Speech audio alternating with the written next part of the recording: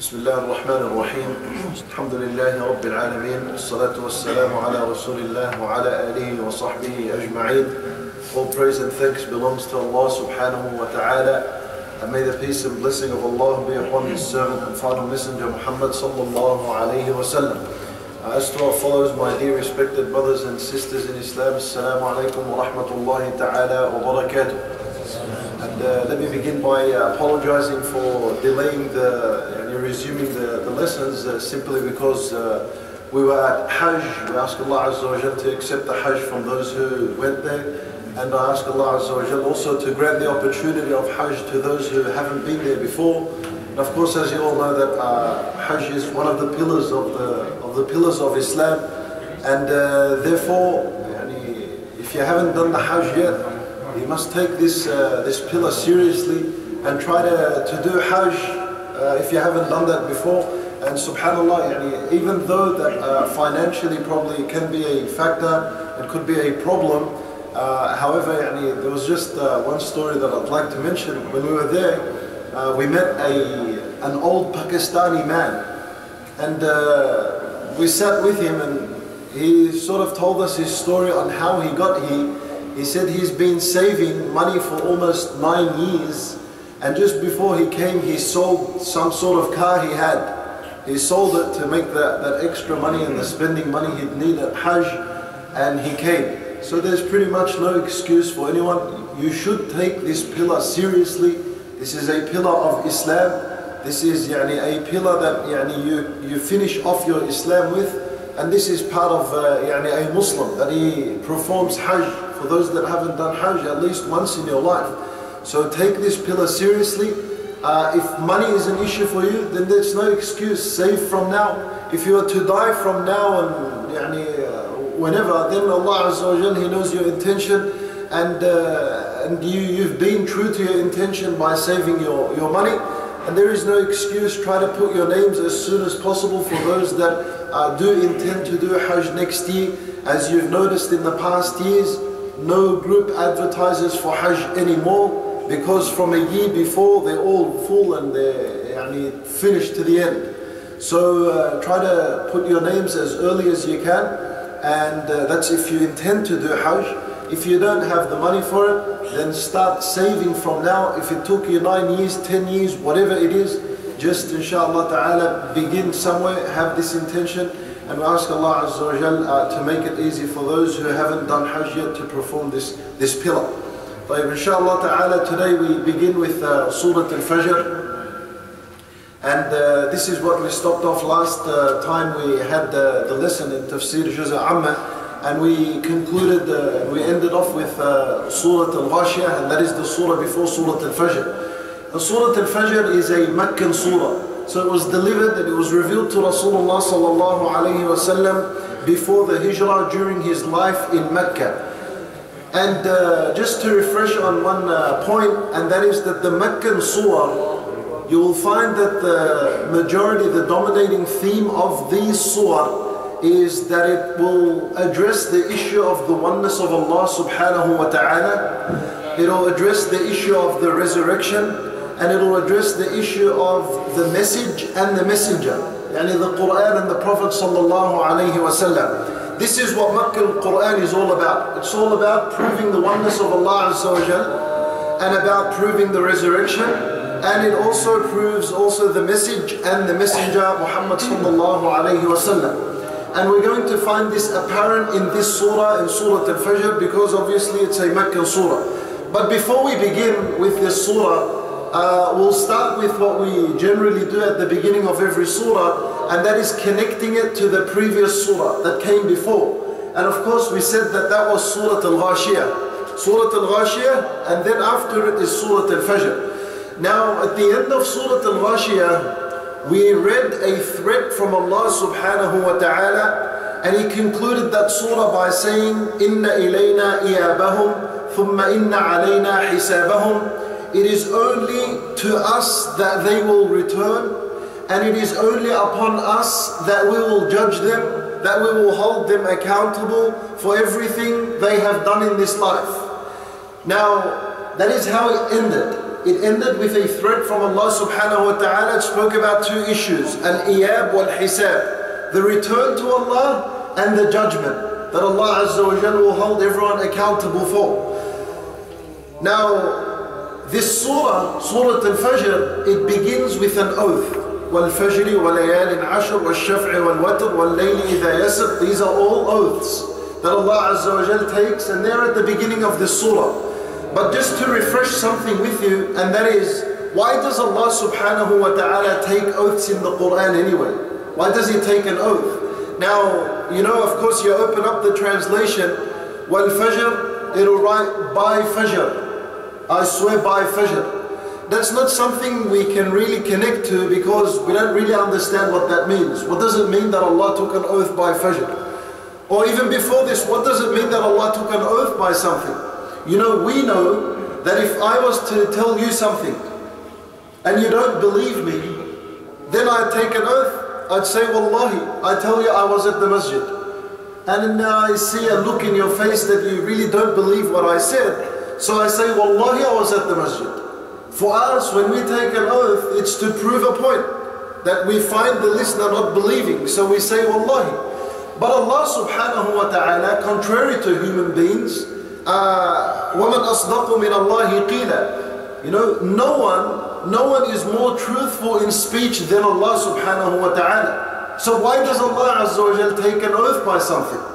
If Allah Azza wa Jal only speaks the truth, then why does He take an oath and say, Wal Fajr? What kind of point is He proving?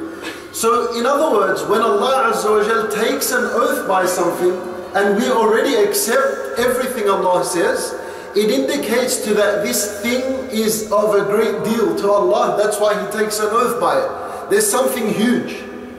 And when He takes an oath by Himself, it's even greater.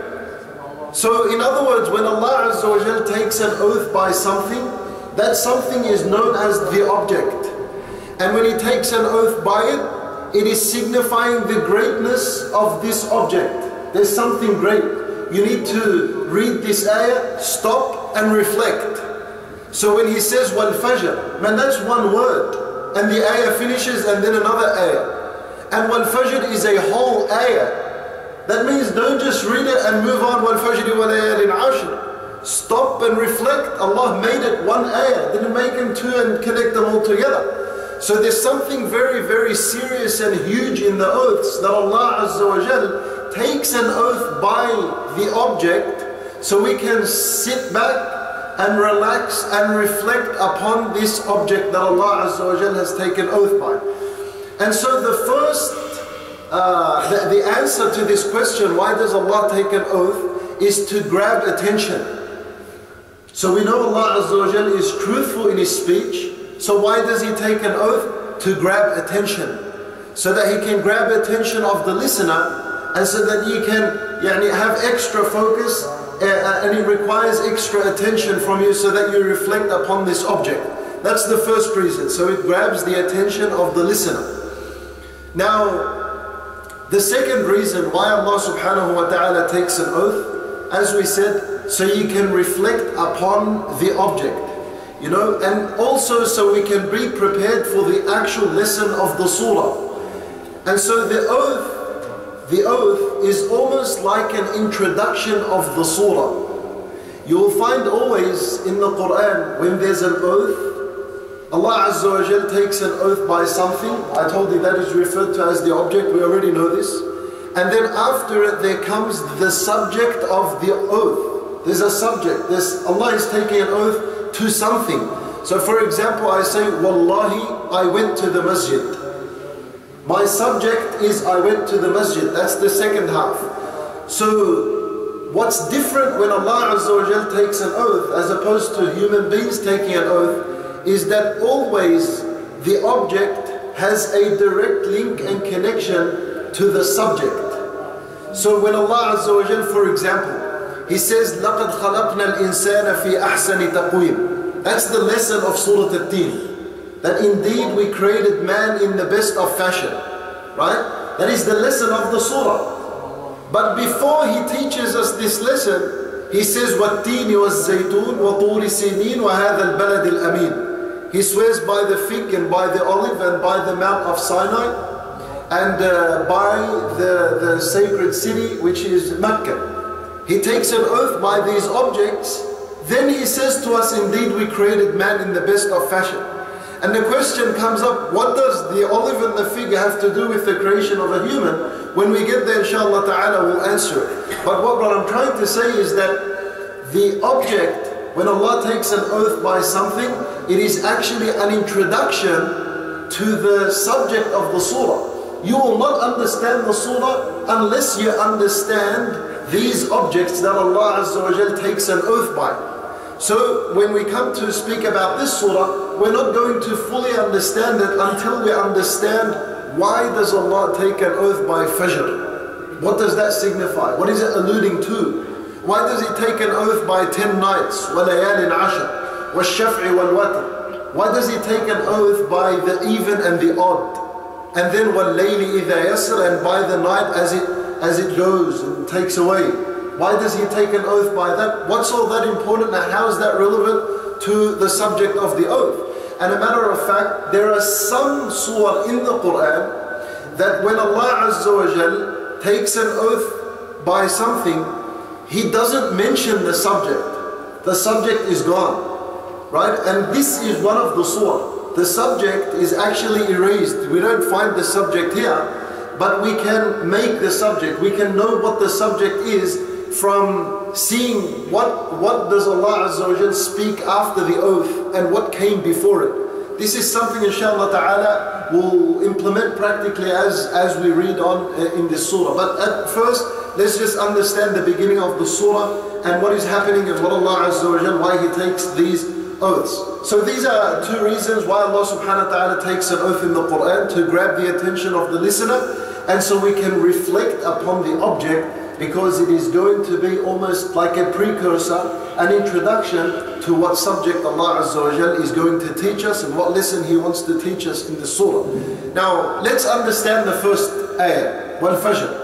Of course, we're going to understand it first, then we're going to connect it to the end of Surah Al-Ghashiyah. We still haven't forgot, the end of Surah Al-Ghashiyah was about two things. What were they? Al-Iyab, which is the return to Allah, and Al-Hisab, which is accountability. So we're going to have to understand Al-Fajr and then we'll connect both of them together. So the word Al-Fajr, Wal-Fajr, the waw here is known as waw al-qasam. Allah Azza wa Jal is saying Wal-Fajr, in other words, I swear by. This is what waw means, I swear by. Al-Fajr, it comes from the word Fajara. Fajara means, literally it means for something to explode or something to rip completely so that light emerges or comes through it. That's what Fajr means, literally. And that's why the first prayer of the day is called Salat al-Fajr because the night curtain, think of the night, the night curtain, it rips up and light starts to come through it. So it was called Salat al-Fajr because that happens. And you know, just yani, to think of it practically, uh, if you were to, like, uh, if you're at home and you have a window and you have a black curtain in front of the window, open it up in the morning from the middle and open it. What happens? The light comes straight through. So that's kind of what happens when the Fajr time uh, approaches and when the Fajr time, when it's Fajr time. The night, the night is think of it like a black curtain, and then it rips in half and light comes out when this light emerges, in other words, it explodes right through this night curtain, this black curtain, that is Al-Fajr. That action is Al-Fajr. So now Allah Azza wa is taking an oath by this time. And it's important to know that Fajr time is the beginning of life. Fajr time is the beginning of life. In other words, at this time, at the time of Fajr, the, the animals begin to come out of their dwellings. The birds start chirping, right? No one wakes them up, it's just natural, they come out.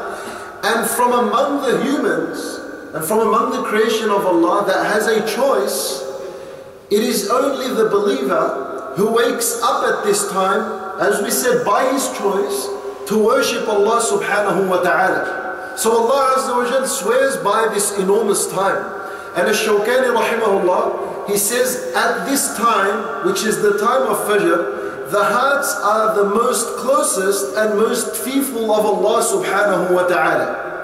Why? Because the slave has woken up for no other reason except to worship Allah subhanahu wa ta'ala. At Fajr time, no one wakes up to cook, no one wakes up to clean, no one wakes up to take their children to school or to wake up and go to work except a few, but the majority. And what's common is that this time, if you were to wake up in this time, it is purely for Allah's sake and for nothing else. This is why that at this time the heart is the most closest to Allah Azza wa Jal, because you got up only for Him, so you can go and pray. The other thing is Al-Biqai rahimahullah, he says, when Allah swears by the morning, when He swears by Al-Fajr, which is the dawn, sorry, He is swearing actually by life after death. This is what it refers to. Because night sleep, when you sleep at night, it's a symbol of death. And when you wake up, it's a symbol of resurrection. Allah Azza wa Jal, of course He mentions this in the Quran, you know, sleep is a minor death. And when you die, that's the major death. And when you wake up from your sleep at Fajr time for the believer, that is known as the minor resurrection. And when you, when Allah Azza wa brings us up on the day of judgment, that's known as the major resurrection. And Allah Azza wa Jal, He says, Allah يتوفى الأنفس حين موتها والتي لم تمت في منامها فيمسك التي قضى عليها الموت ويرسل الأخرى إلى أجل مسمى Allah Azza wa Jal, He says, It is Allah who takes the soul away at the time of death.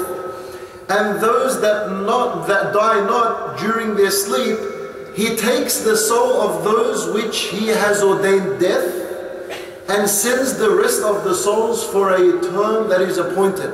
In other words, when we all sleep, we're all dead. There is no soul in your body when you're asleep. So if Allah has ordained and decreed that you're going to die in this sleep, your soul doesn't go back to your body. And if Allah has ordained that you're going to live, He will send that soul back into your body, it'll go into your body, you'll wake up. This happens every night. And Rasulullah sallallahu alayhi wa says in the hadith, An-nawmu akhul maut. Sleep is the, is the brother of death. Sleep is the brother of death. And, uh, and this is how we understand it. Sleep is a minor death, and the death, that, the other one, when we die, that's the major death. And this is also why we understand the sunnah of Rasulullah that he teaches us. It's a sunnah when going to sleep, what do we say? Bismika Allahumma amutu wa ahya. Oh Allah, with your name I die and I live. I die and I live. We don't say Bismillah, Bismika Allahumma anamu wa astayqid. We don't say, Oh Allah, it's with your name that I sleep and wake up. We say that I die and I live. And also when we wake up, it's a sunnah to say, Alhamdulillah ahyana ba'dama amatana wa ilayhi nushur. All praise and thanks belongs to Allah who gave us life after we had died, who gave us life after we had died. Right? So there's this term of ahyana and amatana. So we allude to our sleep at night with death, and when we wake up, we mention the fact that Allah gave us life, gave us life. So this now is a reminder of resurrection. Wal Fajr. This oath, Allah Azza wa Jal is reminding us of resurrection. And how we're we going to connect it to the previous surah? In the previous surah, Allah Azza wa Jal ended it by two things, al-iyab and hisab. To us or to, uh, to Allah Azza wa Jal will return and He will judge us. Now, Fajr time, when you wake up, you're waking up only for Allah's sake. Right? Only for Allah's sake. And uh, when we die, and Allah Azza wa Jal resurrects us on the day of judgment, we only get up from our graves and walk towards who? We only walk towards Allah subhanahu wa ta'ala and nothing else. So every single Fajr that you and I wake up to, it is actually reminding us of the bigger resurrection that will happen on the Day of Judgment. So every time you wake up for Fajr, reflect upon this time. You only got up for Allah. And on the day of resurrection, you will only get up from your grave for Allah only, for no one else. Subhanallah. And when you get up on that day, on the day of judgment, when you get up, you're only getting up and walking towards Allah subhanahu wa ta'ala for the judgment, for the judgment. And in this life as well, when you wake up at Fajr time, you only woke, woke up to Allah and you walk to go to the masjid to pray to Allah Azza wa Jal to hold yourself accountable. To hold yourself accountable. Hold yourself accountable. Are you able to wake up for Salat al-Fajr and pray? You know, this uh, a lot of the a lot of the ulama, a lot of the salaf, they said that the the meter of iman for every person is his relationship with Salat al-Fajr. That's your iman meter with Salat al-Fajr. You can get up, alhamdulillah, that's a good sign. You can't get up, well, then that's a bad sign. So, Salat al-Fajr, the time of Fajr, is a time where you hold yourself accountable. Right? And subhanAllah, this is the connection of it to the previous surah. The previous surah ended up with these two things. That we'll return to Allah and that He'll hold us accountable. And this surah began with Al-Fajr. And Fajr time is a time where we return to Allah and it is a time where we hold ourselves accountable. If we made Salat al-Fajr, then Alhamdulillah, it's a good sign of Iman. If we didn't make it, then be very worried about yourself and your relationship with Allah subhanahu wa ta'ala. So this is how this surah began. Now also, some of the ulama, they commented and said, wal fajr, this is actually alluding and it's referring to Salat al-Fajr of a specific day, and that is the day of An-Nahr. Yawm An-Nahr means the day of Hajj. Al-Fajr here, in some of the narrations, in some of the commentaries, some of the opinions of the scholars, they say that this Fajr, Allah Azza wa Jal, is actually referring to the Fajr of the day of Nahar, the day of Hajj. And, and subhanAllah, the Fajr on the day of Al-Nahar, and this is the day of, yani, Yom Al-Nahar actually begins your sleeping in Muzdalifah, right? Who's been to Hajj here? Who's, who's ever been to Hajj? Alright, we have a few people that have been to Hajj. Anyway, in Hajj, for those that have been, they know this, there is one night that you sleep on, on, on, the, on the dirt basically. You sleep on the ground. And you wake up to pray Salat al-Fajr in Muzdalifah. That place is known as Muzdalifah. And you wake up to pray Salat al-Fajr there. Wal Fajr is referring to that Fajr. This is in some of the in some of the opinions. Wal Fajr is referring to that because that Fajr is the most apparent, uh, يعني, uh, uh, the, the most apparent indication to resurrection. That Fajr. Why? Because everyone is wearing their ihram and everyone is sleeping on the ground on the dirt which almost, yani basically this is resembling your life of al-barzakh, right? You're only centimeters, you're only a blanket away from where you actually will be buried. And so you're sleeping on these plains, there's millions and millions of people, and everyone is in one clothing, and you get up, everyone gets up at the time of Fajr and prays Fajr, that actually symbolizes resurrection. So when we read Wal Fajr, and we understand by wal fajr, Allah subhanahu wa ta'ala, He's swearing by this, He's actually swearing by life after death. Where does that manifest? Where does it become most apparent that Fajr is resembling and symbolizing resurrection, life after death? On that day, the day of Nahr, the day of Hajj. And that begins with Fajr that is prayed on the plains of Muzdalifah. So whoever is there, and of course those that have been to Hajj and those that inshallah ta'ala will have the opportunity and be there, you're going to realize this. When Fajr time, everyone is up and everyone is praying. Almost four or five million people, uh, subhanallah, everyone is standing on the plains praying. And this is what it reminds you of. That these people were sleeping that symbolizes that they were now in Hayat al-Barzakh, they were in their graves. Now, Fajr time, they're up and they're praying. And this in itself signifies resurrection. So we read wal Fajr, this is referring to life after death. And this is how it connects to the previous surah because the previous surah spoke about two things that happen yani on the day of judgment that is the return to Allah, the resurrection, and the judgment taking place, the accountability taking place. This is one fajr. Also, yani just let me share one more thing on this ayah. Some of the ulama they comment and they say that this ayah wal fajr is not just a reminder of the hereafter. It's not just a reminder of resurrection. It is also a reminder of the dawn of Islam, wal fajr the dawn of Islam.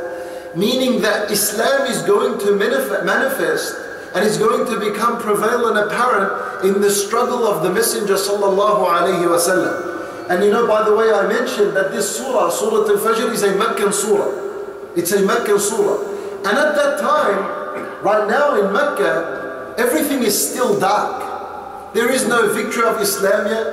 Uh, the future seems uncertain. There's idols all around the Kaaba. Uh, the believers are being prosecuted and punished by Quraysh. So there is no real victory of Islam yet. This is in Mecca. So Allah Azza wa Jal, He guarantees the victory of Islam to His Messenger sallallahu alayhi wasallam by telling him wal fajr. He swears by that dawn time.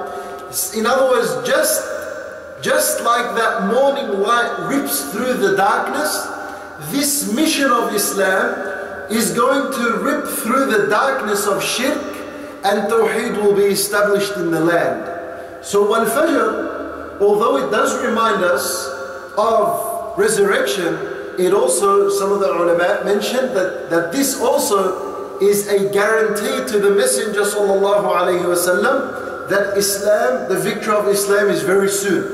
And the victory of Islam is going to be given to uh, يعني Rasulullah sallallahu alayhi wasallam. And of course that was the case. Now we move on to the next ayah and we'll connect it with the first ayah as well. And that is وَلَيَالٍ عَشْرٍ وَلَيَالٍ عَشْرٍ The brief translation, by ten nights. I swear by ten nights. This is still Allah subhanahu wa ta'ala taking an oath. Now He's taking an oath by ten nights. He didn't say وَاللَّيَالِ الْعَشْرِ Right? Listen carefully. He said وَلَيَالٍ عَشْرِ وَلَيَالٍ عَشْرِ means by 10 nights. وَاللَّيَالِ الْعَشْرِ The difference is that an alif lam is added and that will give you a different translation that will be translated to and by the 10 nights. Now when you, uh, when you say by the 10 nights, you are actually pointing to something. But when you say by 10 nights, then you're not pointing to anything. You've opened the scope. It could be any 10 nights. If I told you, get me, get me the chair, that means I'm pointing to a chair and I want that chair to come here. But if I was to tell you, get me a chair, then that means that chair, that chair, that chair, any chair, pick any chair and just bring it. So Allah Azza wa Jal here, He doesn't say وَاللَّيَالِ الْعَشْرِ By the ten nights. He says, and I swear by ten nights. And this is why the ulama differed as to what ten nights is Allah referring to. Because it's not a definite article. He didn't define it by being the ten nights. If he said the ten nights, then there can only be one possibility. But Allah said, وَلَيَالٍ uh, عَشْرٍ By ten nights. So now the ulama, the majority of them uh, fall into two camps when it comes to this ayah. One would say that this is referring to the last 10 nights of Ramadan. Others would say this is referring to the first 10 nights of Dhul Hijjah, which we just passed. Some others would say that this is referring to the first 10 nights of, of Muharram, which is the next month that is yani after Dhul Hijjah. But anyway, we're not going to say that they're right and they're wrong. Why? Because we said Allah didn't say by the 10 nights. He said by 10 nights. So it can be this, it can be the 10 nights of Ramadan, can be the 10 nights of Dhul Hijjah, can be the 10 of Muharram. The, the, the scope is open. The scope is open. Now, uh, before we, we mention some things about this, I want to give you a fact about the first 10 nights and the last 10 nights of any month. The first 10 and the last 10 nights of any month, the shift of the position of the moon is the most visible during this time. What I mean is that the first 10 nights and the last 10 nights of any month, that's when you will notice significant changes in the moon.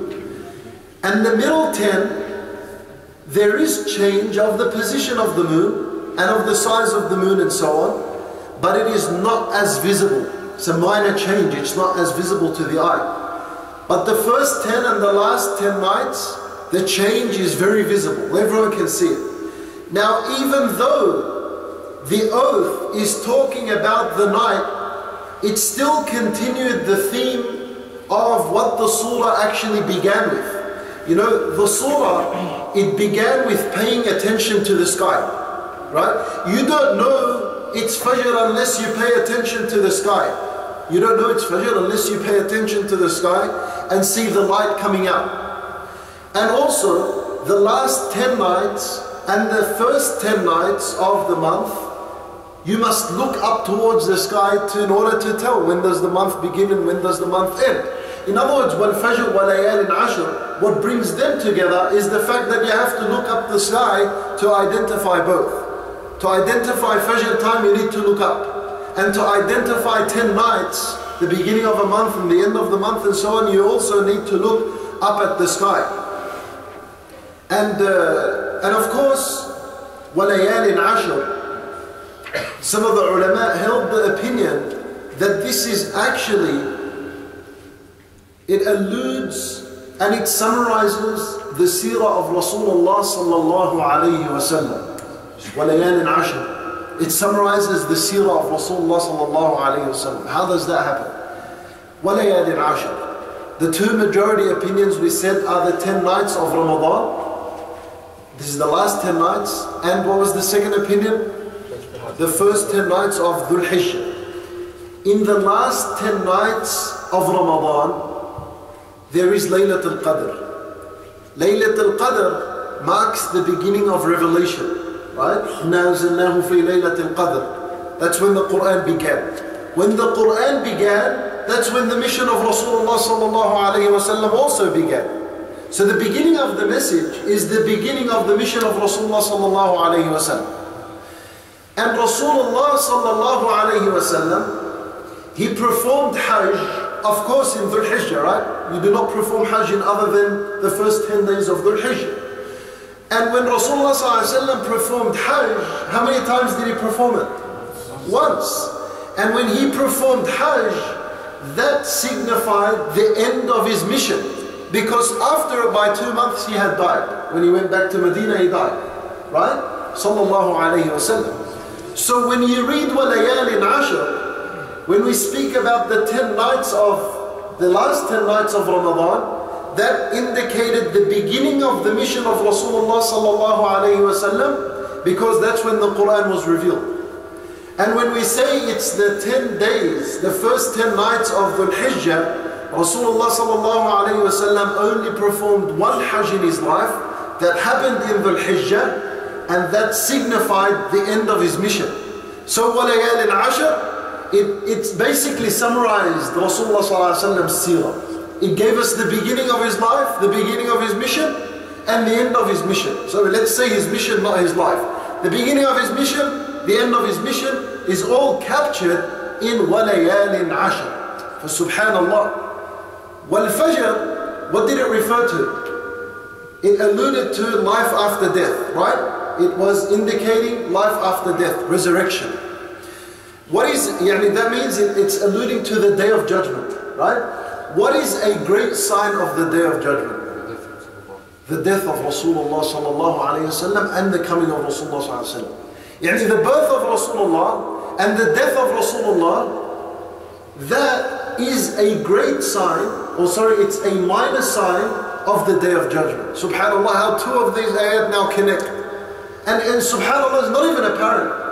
You read wa layalin ashr. This is why the oaths are deep. You need to reflect upon these oaths and not merely just read wa layalin ashr and move straight over to the end of the surah. Well, you're learning now fajr is indicating to the day of judgment. And a minor sign of the day of judgment is the sending of Rasulullah sallallahu and the death of Rasulullah sallallahu. So in this we have a great lesson. وَالْفَجْرِ وَلَيَالٍ عَشْرٍ Now, and of course, we said wal-fajr on the other saying that it is it guarantees victory to Islam. It was a promise, a guarantee from Allah to the Messenger sallallahu alayhi wasallam that Islam will prevail and that victory will be given to Islam. That was with al-Fajr. And walayal in Ashr, it guarantees the day of judgment because it's a sign. Rasulullah him coming and him going, it is a sign of the day of judgment. So that guarantees the day of judgment. And Al-Fajr guarantees Islam. Al-Fajr guarantees that victory is to Islam. Right, now we move on to the third oath of the surah. We're trying to connect all of them together. So that was the connection of the first and the second. The third oath, Allah subhanahu wa ta'ala says, وَالشَّفْعِ وَالْوَتْرِ and actually in this ayah there's two oaths.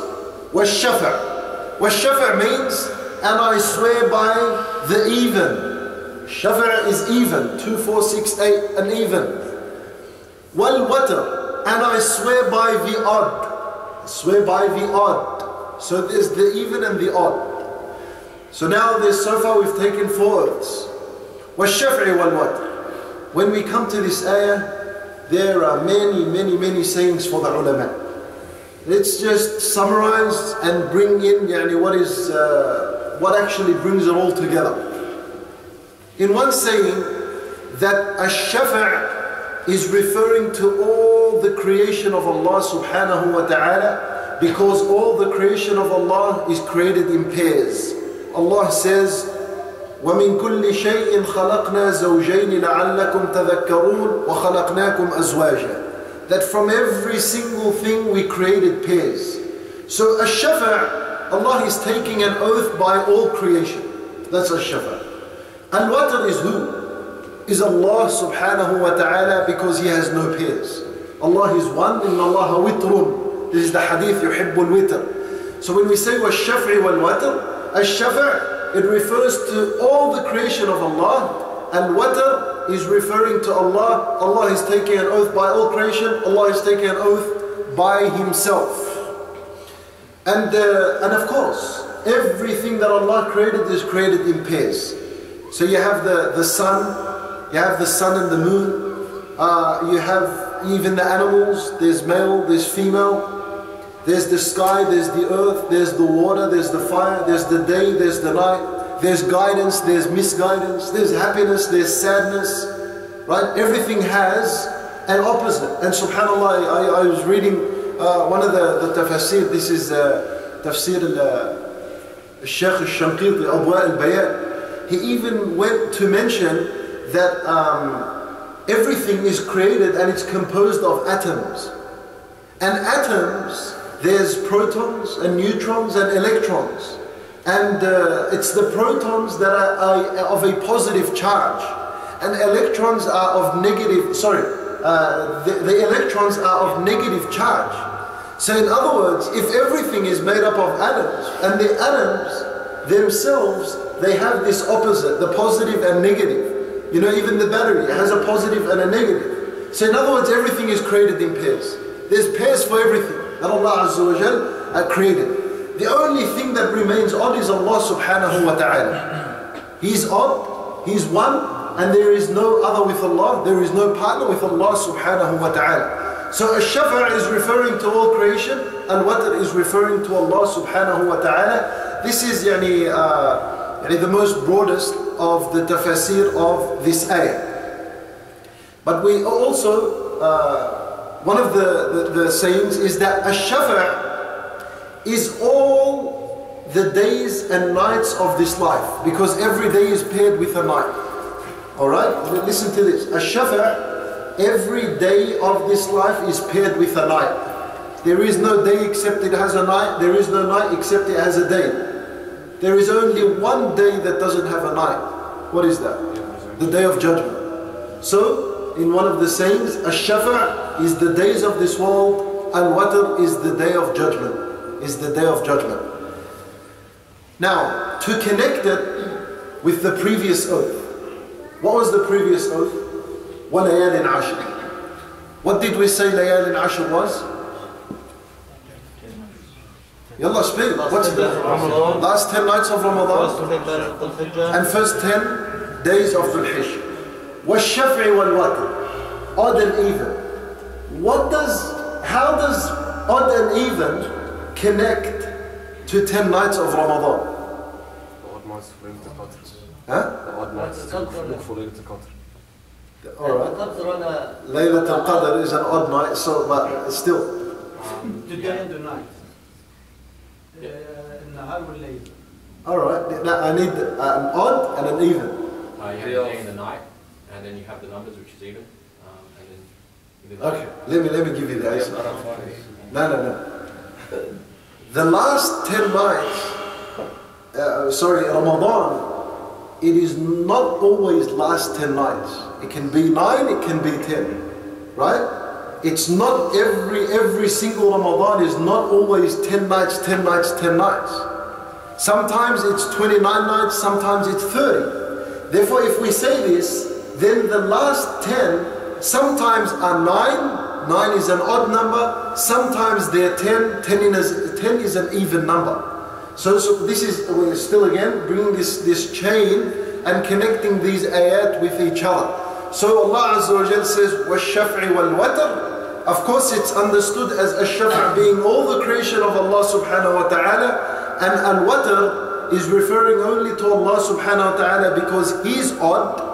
But when you want to connect the ayat together, then you can say that ash-shaf' is referring to when the last 10 nights of Ramadan are even and they're 10. And al-watr is referring to the last 10 nights of Ramadan when they're actually 9 nights. So this is wash-shaf'i, uh, wash-shaf'i wal-watr. Then Allah subhanahu wa ta'ala, He says, وَاللَّيْلِ إِذَا يَسْرِ And before we move on to this, there's one more saying I'd like to share with you. This become, it's going to become very important when we reach the end of the surah. Of course, at the end I'll refresh this with you, but let's just uh, share it for now. وَالشَّفْعِ وَالْوَتْرِ Also, it refers to ash-shafa' referring to the even prayers. The prayers that are even in number of their rak'at. So that is what? Salat al-Dhuhr, al-Asr, al-Isha, and al-Fajr, but al-Fajr already been mentioned at the beginning. And al-Watr is referring to which prayer? Salat al-Maghrib. Salat al-Maghrib. And this is a hadith of the Prophet sallallahu alayhi wasallam in where he says, Al-Maghribu witrun nahar. That Maghrib is the witr of the day. And then he says to us, continuing this hadith, فَأَوْتِرُوا صَلَاةَ اللَّيْلِ Then pray the witr of the night. So the so yani al-Maghrib is the witr of the day. That's how we conclude our day with a witr. And then the hadith goes on to say, make a witr of the end of the at the end of the night, and that is the witr that we pray. That one rak'ah or three rak'ahs, whatever you pray it, but as long as it's an odd in number. So there's the hadith. It proved that uh, Maghrib is what is referred to by witr because it's odd in its number of rak'at. That becomes very important when we're going to mention and connect it to the end of this surah. So now we have wal fajr, wal layalin ashr, wal shaf'i wal watr. And by the way, as we read wal fajr, wal layalin ashr, wal shaf'i wal watr, Allah Azza wa Jalla is also teaching us that these are the best times of worship. Fajr time, layalin ashr, and of course we know the last 10 nights of Ramadan, they have a, a, a significance and a virtue yani, more than the other nights and the other days of the year. And the first 10 days of Dhul Hijjah and the nights as well, they have a significance and importance as opposed to all the other days of the year. Right? There's a hadith in this, and the Rasul he says, ما من أيام العمل الصالح فيهن أحب إلى الله من هذه العشر. That there are no days in where performing good deeds is better uh, to Allah subhanahu wa ta'ala uh, as opposed to other days. Even then the companions asked, وَلَمْ جِهَادُ فِي سَبِيلِ اللَّهِ Even if someone was to go for jihad, then Rasulullah said, even if he was to go jihad, except one person that goes and doesn't come back, then that no one would be his status.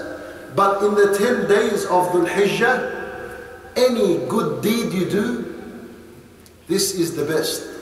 As opposed to all the other days of the year, it's even better than jihad. You're to sit down in these 10 days and say, Subhanallah, it's better than someone going to jihad.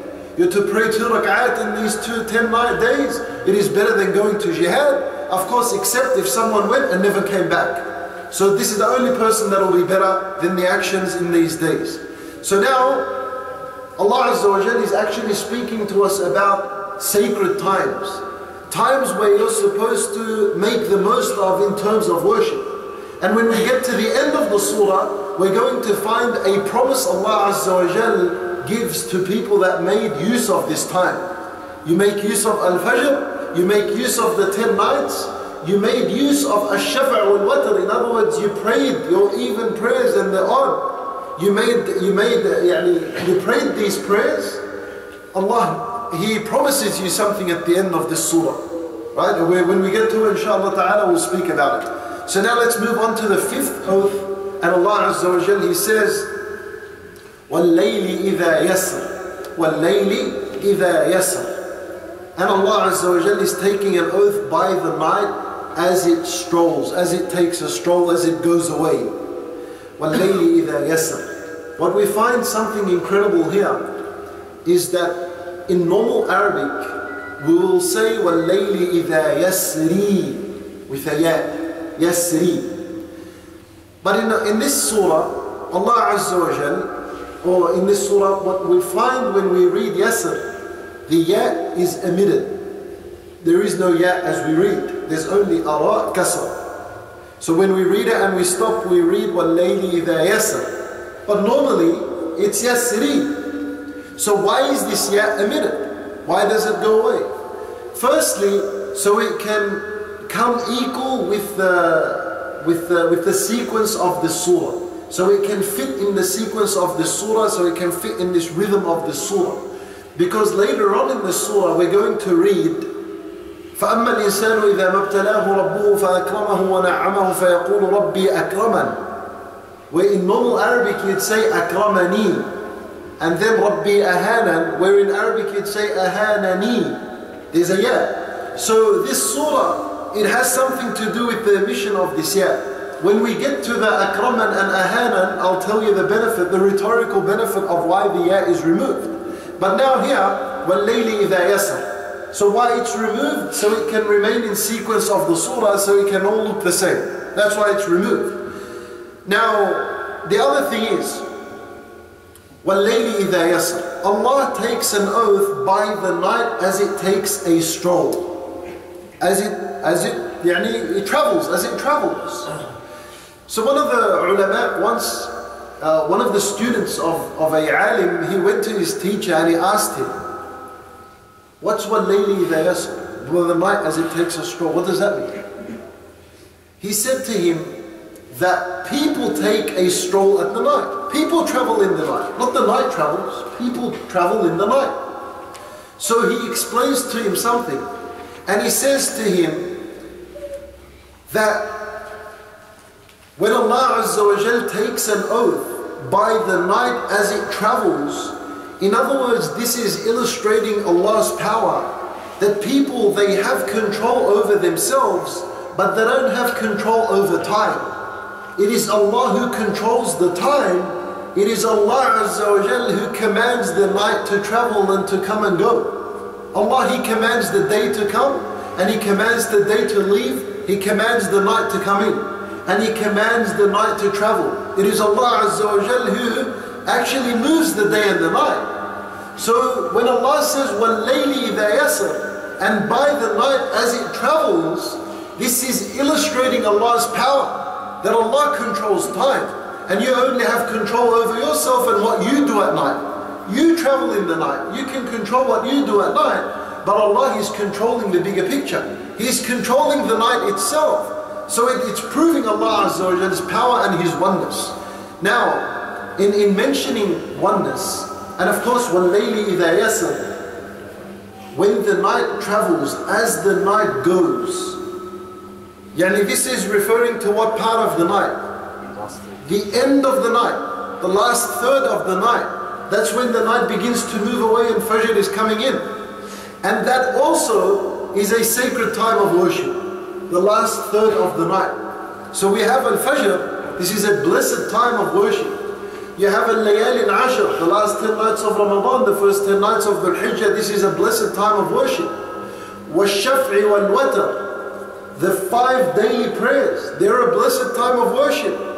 Allah Azza wa Jal, and Nabi Sallallahu Alaihi Wasallam, he mentions in the hadith, the hadith al-Qudsi, وما تقرب إلي عبدي بشيء أحب إلي مما افترضته عليه that the servant there is nothing that brings him close to Allah except by what Allah Azza wa Jal ordained and made obligatory upon him you want to get close to Allah you want to become close to Allah then the first logical thing is to just implement the the, the, the, يعني the, the obligations that Allah Azza wa Jal obligated upon you. So that's a blessed time. The times of the prayers, the five daily prayers is a blessed time.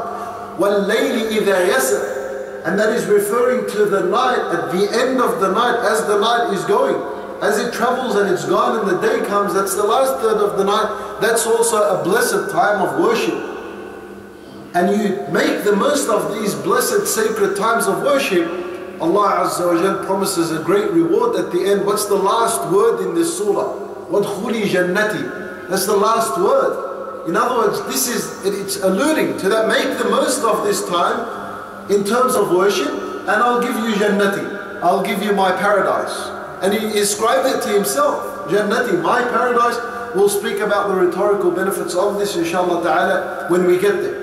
But anyway, um, Let's just, uh, inshallah ta'ala, conclude with something. And that is that at the beginning of this lesson, we mentioned that Surah Al-Fajr is a Meccan surah. And from the themes of the Meccan surah is that it's there to, to prove the concept of the oneness of Allah subhanahu wa ta'ala. To prove the oneness of Allah. Because we're in Mecca, in Mecca, people don't believe in Allah Azza wa. They believe that He created and so on, but they don't worship. They don't believe that we have to enslave ourselves to Allah. So Allah Azza wa Jal now, because this is a Meccan surah, these oaths will actually uh, allude to the oneness of Allah subhanahu wa ta'ala also. Above everything we shared, all these five oaths, they also, they, they point to the oneness of Allah subhanahu wa ta'ala, they prove the oneness of Allah azza wa jal. And uh, you know, when you take an oath by something, when you take an oath by something, for example, if I say, I swear by Allah, what does that mean? That means I made Allah a witness to what I'm about to say. So when you take an oath by something, when we say Wallahi, what does that mean? That means you have made Allah an, an, a, a witness to what you're going to say. So when Allah says wal fajr, He's made al fajr a witness to something. And He's made al fajr a witness in these terms, and yeah, He's made a witness to His oneness. He's saying wal fajr. That means Allah is making al fajr a witness to His oneness. Walayalin ashar. He's making the ten nights a witness to His oneness. In other words, if you observe Fajr, it's going to tell you and it's going to prove to you that Allah is one. If you were to feel and live the ten nights, you're going to realize that Allah is one. وَالشَّفْعِ وَالْوَتْرِ The odd and the even is also a witness to that Allah is one. And by the night as it travels, it is also a witness that proves Allah is one. How? Let me share with you and conclude with this. Allah Azza wa takes an oath by Fajr. Right? And, and of course I mentioned to you that Allah Azza wa Jal, meaning that Allah Azza wa Jal has made these creations a witness to His oneness. Fajr time is a witness to Allah's oneness.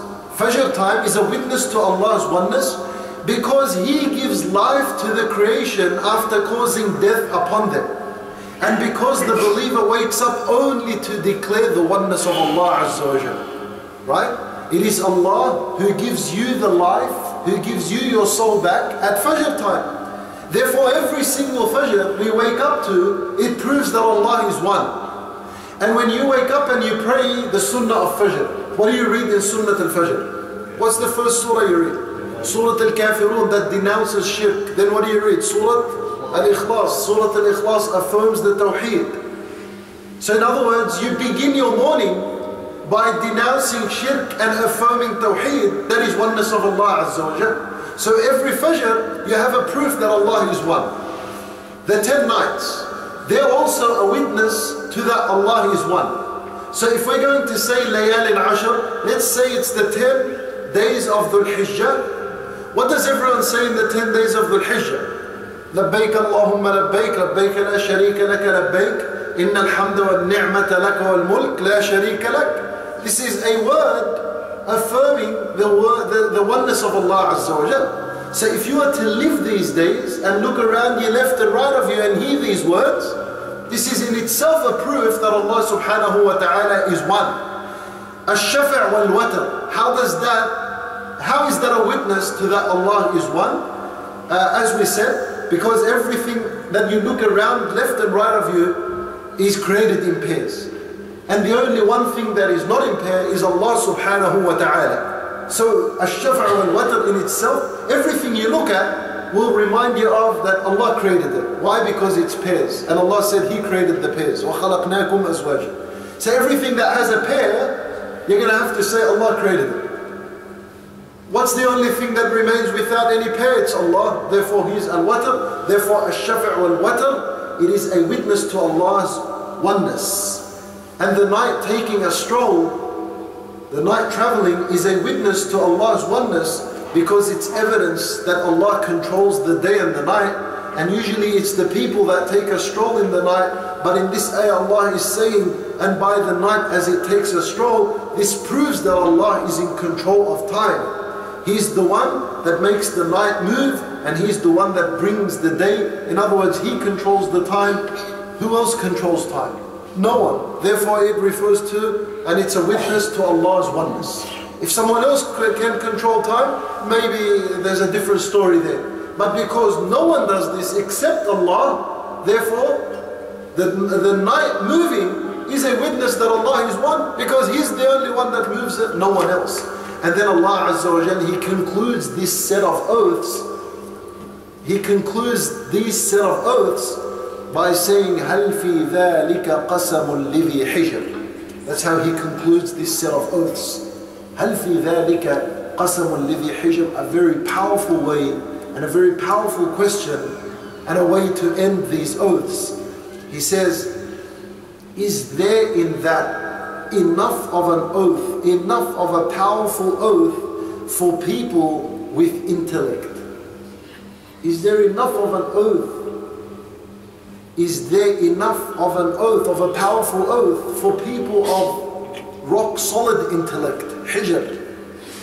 Yani subhanallah. In other words, Allah Azza wa Jal is teaching us how huge these oaths are. He's saying, isn't it enough? Are, are these wal fajr? وَلَيَالٍ عَشْرٍ وَالشَّفْعِ وَالْوَتْرِ وَاللَّيْلِ إِذَا يَسْرٍ Isn't it enough of an oath? Isn't it enough for you people to understand, for people with rock solid intellect? And the word hijr Hijr, it comes from the word hajar. Right? Firstly, hijr here translated as intellect. Intellect, right? This is that the Arabs would refer to a brain saying, huwa dhu hijrin. that means he is someone that has intellect. Now, the word hijr comes from the word hajar. Hajar is a, is a rock, it's a boulder, something huge, a big rock. And of course we said it refers to the aql, to the intellect. What does a rock have to do with intellect? You know also hijr, uh, literally it means al-mana' Hijr, hajar means al-mana' to, to prevent something, to stop something. So the, the mind, the mind was called hijr because you use it to prevent you from doing something wrong. Right? It prevents you from doing something wrong. Simply, yani if, uh, if you touch fire, you don't have a hijr. If you touch fire, you don't have intellect. Right? Your intellect is supposed to stop you from touching fire, so it was called hijr. And you know, when you're on a road, when you're on a road, and there's a big rock in front of you, doesn't it stop your path? It stops you, it prevents you from getting to the other side. So it was called hijr because the hijr, the brain, the mind, this intellect, it's what stops you from trespassing Allah subhanahu wa ta'ala's limits. So Allah has, has limited you to things and has defined, there's, there's borders. You're not allowed to cross this, you're not allowed to transgress this. That's where the rock is supposed to be. And that's what your mind, your hijr, your intellect is supposed to tell you not to pass this boundary. And that is called hijr. So Allah Azza is saying, isn't there enough of an oath for people of rock solid intellect? In other words, if you understand the depth of these oaths, you're someone that has intellect. If you just merely pass by them and understand nothing, and do not take any lesson from it, then you're someone without an intellect. So this is how Allah Azza wa Jal, وَجَدْهَا قسم لذي حجر. And subhanAllah, nowhere else in the Quran Allah calls us to reflect upon an oath except here. Except in another place, and that is in Surah Al-Waqi'ah, when he says, وَإِنَّهُ لَقَسَمٌ لَوْ تَعْلَمُونَ عَظِيمٌ When he takes an oath by the positions of the stars, مواقع النجوم, and then he says, وَإِنَّهُ لَقَسَمٌ لَوْ تَعْلَمُونَ عَظِيمٌ Indeed, there is a huge and enormous oath in that. So that's the only other place that Allah subhanahu wa ta'ala invites us to really reflect upon that oath. But here is the other place, and this is seriously calls us to sit and reflect upon these oaths, inshallah ta'ala. Yani we do, we're not going to say that we've done justice to the ayat, but inshallah ta'ala we've shared a few things on these yani ayat and a few reflections on these oaths. وَالْفَجْرِ وَلَيَالٍ عَشْرٍ وَالشَّفْعِ وَالْوَتْرِ وَاللَّيْلِ إِذَا يَسْرٍ هَلْ فِي ذَلِكَ قَسَمٌ لِذِي حِجْرٍ Also another thing uh, I can remember now, uh, Shawkani rahimahullah, he mentions that this is a very strong way of Allah Azza wa Jal calling us to reflect upon the oaths. You know, just for example, he says if, if someone was to say, if someone was to bring uh, yani proof in front of you, someone was to tell you, man, this person owns this car, and I saw him driving it, and I saw him park it, uh, he park it in his driveway. There's a picture, look at it, he's driving it. There's a picture of the car in his driveway. There's a picture of him and his family in the car. But the car is his. So at the end I'll say, isn't there enough proof? Haven't I showed you enough proof that the car is his? When I really get angry at the end, you're not believing. What do I say there? Haven't I given you enough proof that the car is his?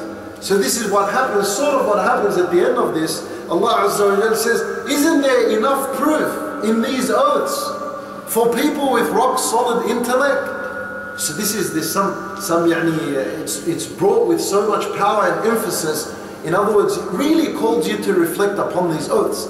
Now, when the oaths are done, there comes something known as the subject of the oath, which I told you. But in this surah, it happens to be mahdoof. It's removed. And uh, what the ulama say, it's that it's muqaddar. We, we, we make, we estimate, we estimate a, a response and a subject of the oath based on what is going to come after and what has come before in Surah Al-Ghashiyah. And the subject is لَيُعَذِّبًا لَيُعَذِّبًا So in other words, Allah is saying, I swear by Al-Fajr, and I swear by ten nights, and I swear by the, odd, the even and the odd, and I swear by the night as it takes a stroll, I will punish. I will punish. What is the proof of this? The next passage of this surah, Allah will say, أَلَمْ تَرَ كَيْفَ فَعَلَ رَبُّكَ بِعَادٍ He'll give us examples of how He destroyed people in the past. So I will punish. And in the previous surah, Surah Al-Ghashiyah, Allah Azza wa Jal, he, he spoke about the day of judgment. هَلْ أَتَاكَ حَدِيثُ الْغَاشِيَةِ وُجُوهٌ يَوْمَئِذٍ خَاشِعَةٌ he spoke about the punishment. فَيُعَذِّبُهُ اللَّهُ الْعَذَابَ الْأَكْبَرِ Allah will punish him, the ultimate form of punishment. So, before it, it spoke about punishment. And then after the oaths, Allah gives us examples and scenarios of how He punished people in this world. And so therefore the subject of the oath is لَيُعَذِّبَنْ I will surely punish. You don't believe? Let me give you examples. And subhanAllah what's very beautiful is that in the previous surah, Allah warned the disbelievers about the day of judgment. And the day of judgment is unseen.